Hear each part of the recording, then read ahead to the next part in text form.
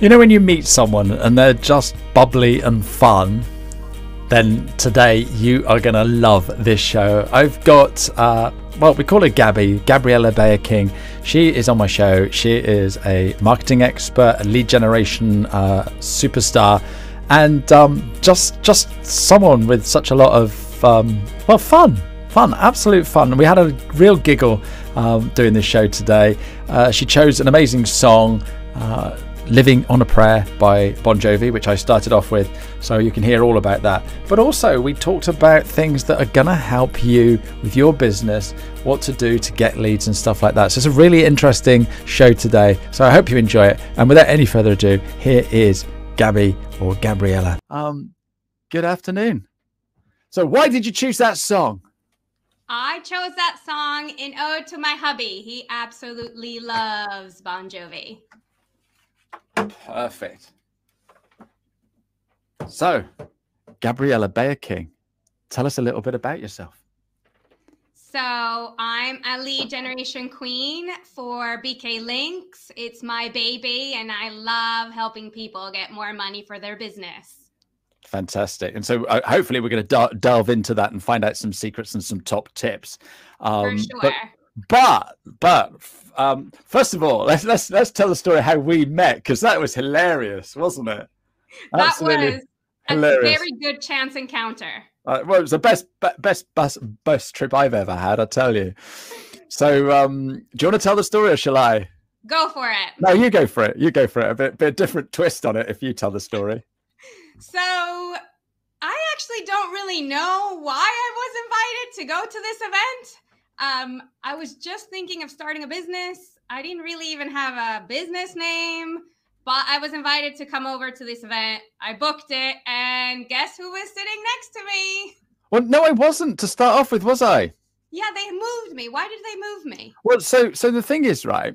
Um, because it was this bus journey, and it was it was, it was a fifty odd seat bus, and there was about thirty of us. Do you reckon?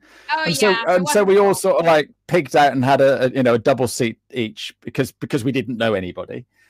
And um, I like to sit at the front, and you sat right behind me. And they said, right, need to partner up because we're going to do a quiz. And so you came and sat next to me, and we we we did this little quiz, and neither of us are, are very bright. But guess who won the quiz? Um, yeah, so so so now um, Gabriella thinks I'm really intelligent, but I was just lucky. And I think, isn't that the thing with quiz? I was 100% lucky with some of the questions. I had no idea what we were doing. Hey, it, it doesn't matter. We were the brainiest people on the bus. it says a lot for whoever organized that trip, doesn't it? Definitely. And it was a great event. So that was, you know, it was all all around awesome.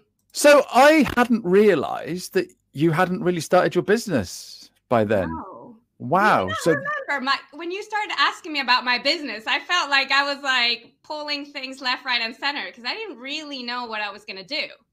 Wow. Okay. And how long ago was that? A year ago. Was it really was it really 12 months ago? Yeah, that's incredible. So what have you done in the last 12 months then?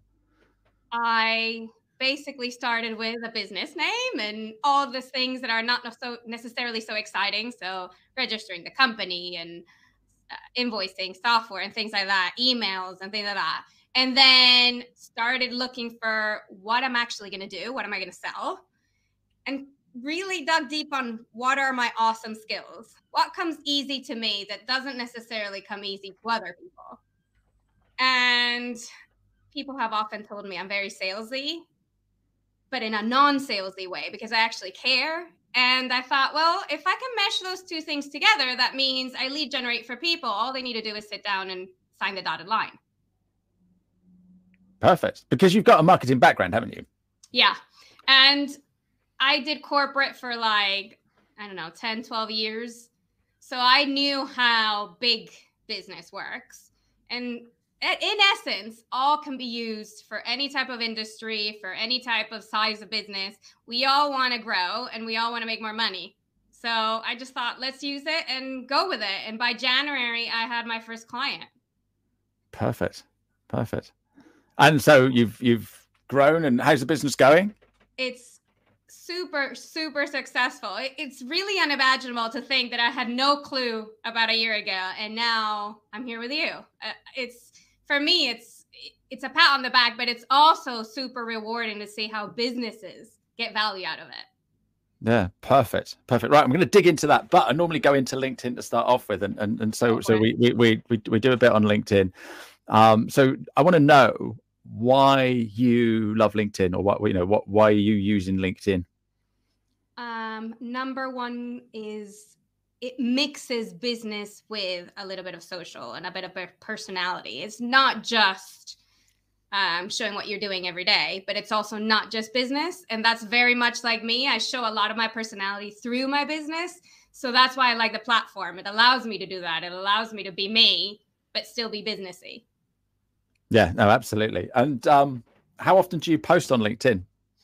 Ideally, once a week. I have obviously my business um, LinkedIn and then my own personal. So ideally, I'm I'm posting once a week as a minimum. But then obviously, if there's an event like this, or if another client has something going on, then I'll repost. So it might be more than that. But as a consistency, once a once a week. I see Haley on the comments already.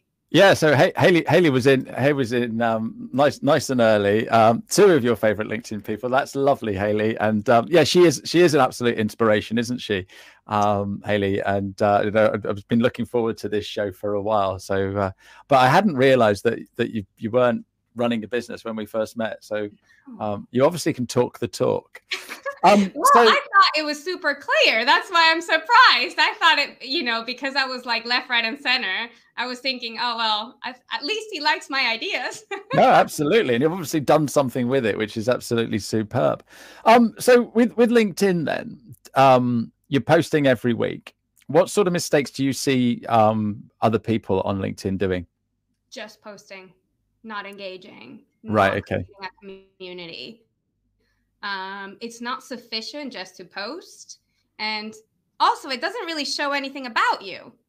Um, like you do, you just comment on our responses and um, bring people in, ask them further questions. That's actually what helps the algorithm and helps other human beings know what you're like.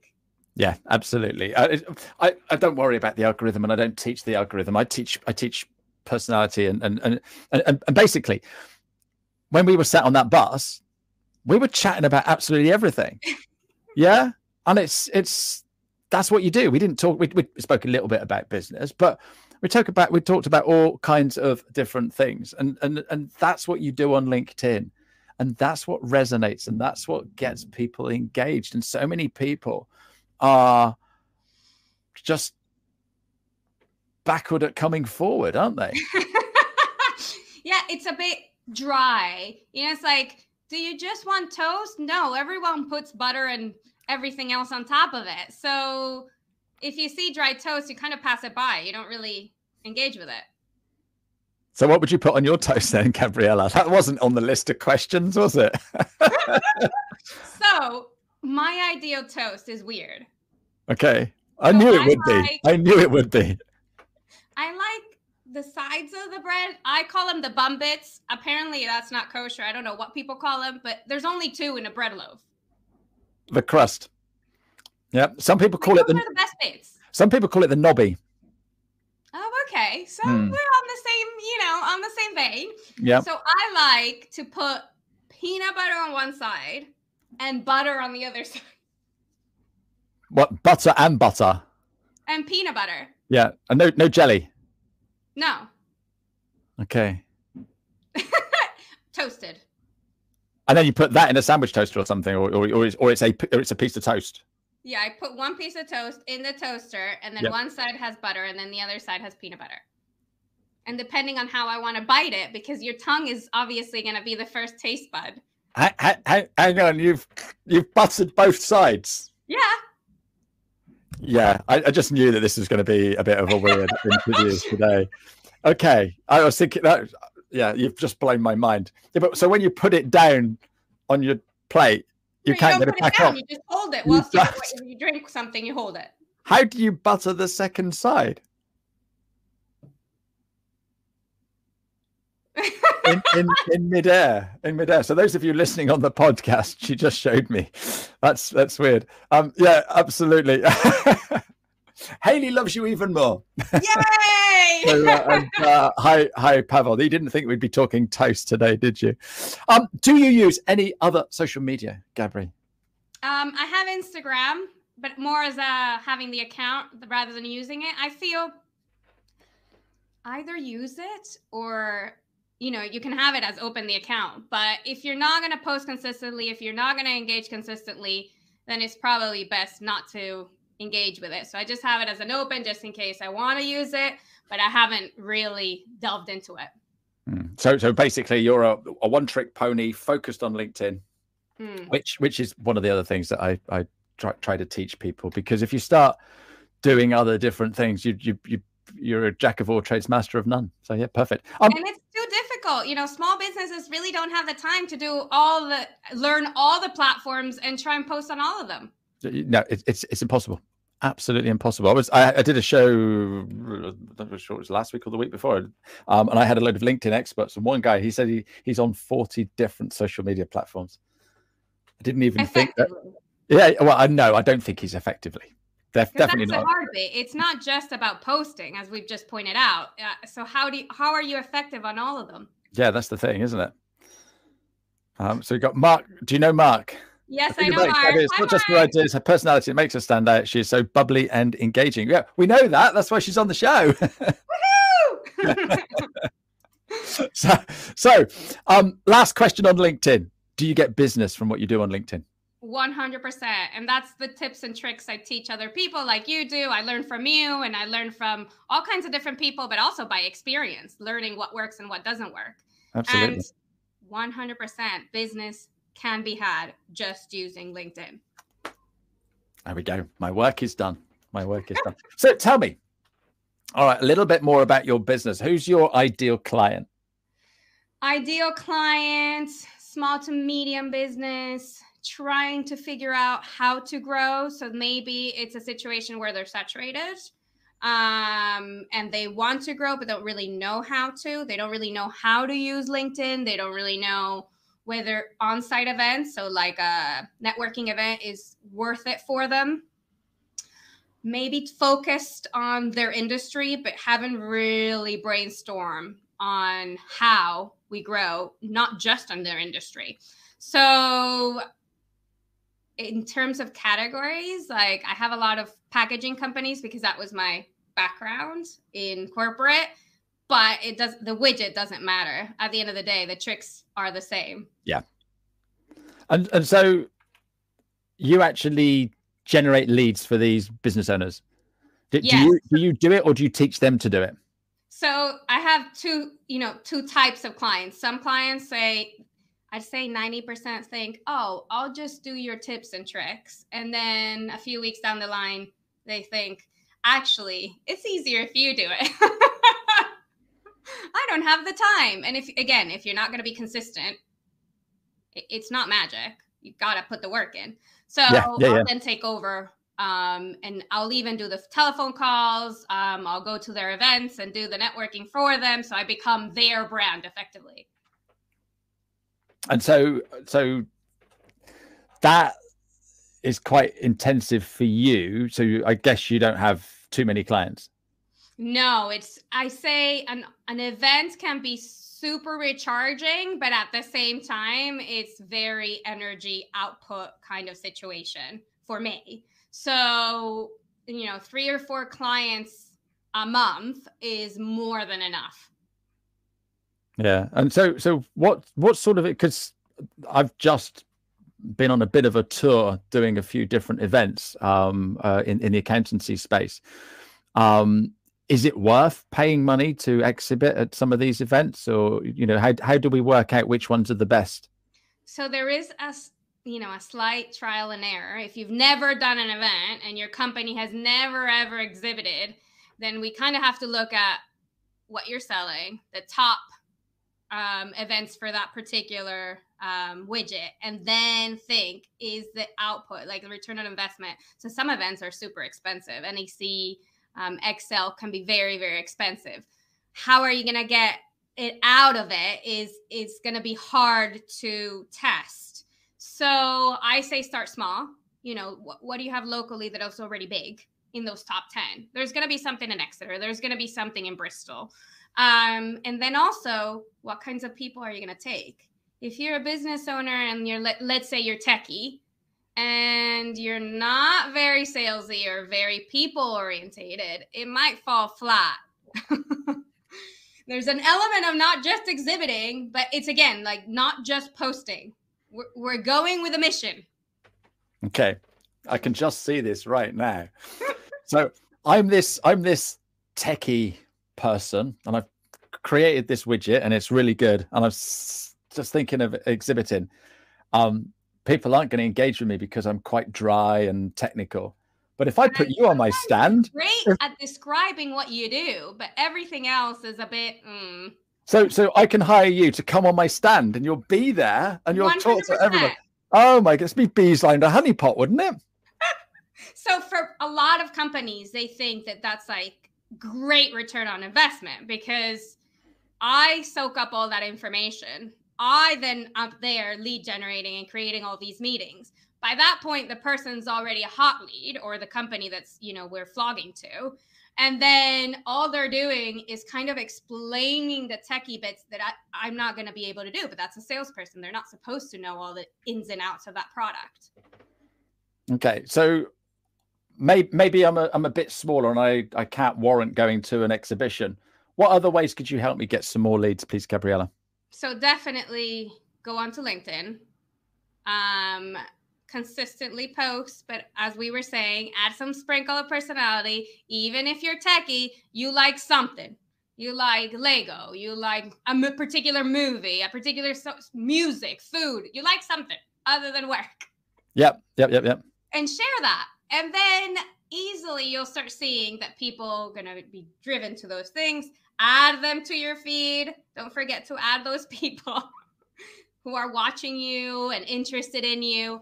And don't be afraid to ask the question Are they interested in your services? It's it, we're all selling something.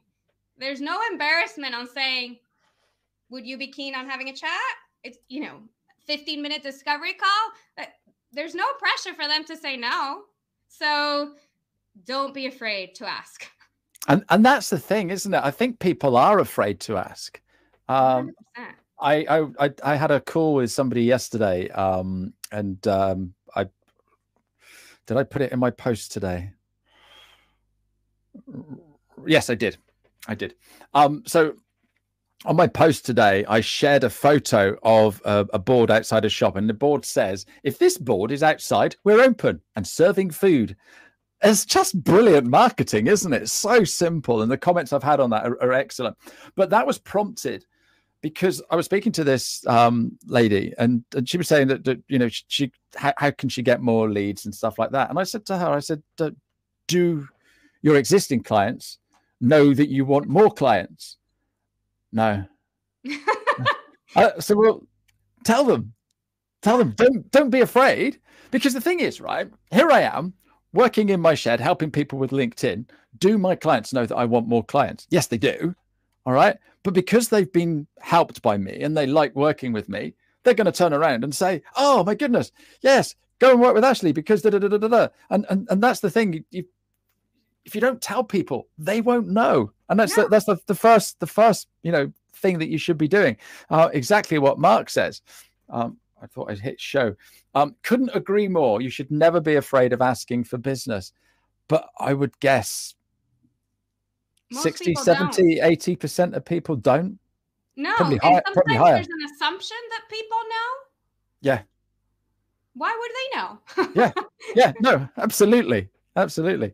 And and again, the the other thing is a lot of people do stuff for free um, to you know get some goodwill, show people what they can do. You know, this is the the the carrot or whatever you want to call it.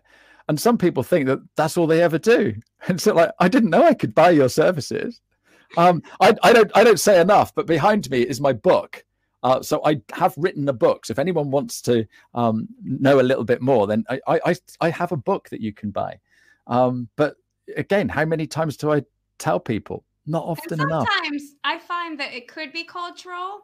So some clients will tell me, "Oh, I'm then self-promoting. It comes off as, you know, selfish or you know, are people going to be, you know, thinking this is weird?" And I'm thinking, "No, that is what you do. That's your sales." You're promoting what you do. And when you win an award, you show everyone that you won the award. It's a good thing yeah, absolutely. But in the UK, we're not we're not keen on that. Now, tell me, that doesn't sound like a, a, an English accent. So, where are you from? So, I was born in Venezuela. Yep. I went to undergraduate in Florida, and then I've been in the UK for 16 years. I know it doesn't sound it, but I I have been here longer than anywhere else. Right. Okay. But you grew up. You grew up in Venezuela. You grew, you grew, up in Venezuela and did a little bit in America. Yeah. So right, although okay. I sound very American, that's where I stayed the shortest. That's that's incredible. Okay. and and again, culturally, in in America, it's all about sell, sell, sell, and and and, and it and it selling is a respected industry in in America, isn't it?